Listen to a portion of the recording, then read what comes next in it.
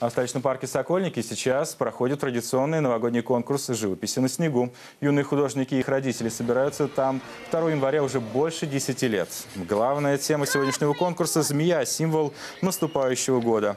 Всем желающим принять участие в шоу организаторы выдавали краски, победители за свои шедевры получили дипломы и подарки. Фотоаппарат, мобильный телефон и планшетный компьютер. Поощрительные призы получили и самые юные художники.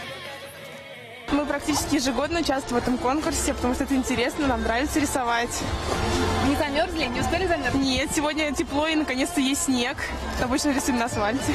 А что рисуете? Сегодня задание символ года. Вот у нас змейка-питон.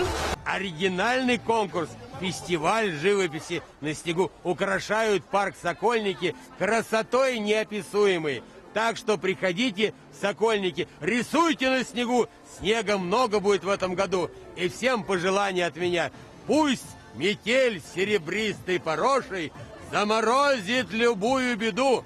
Мы желаем вам всего, хорошего, хорошего. в наступившем новом году!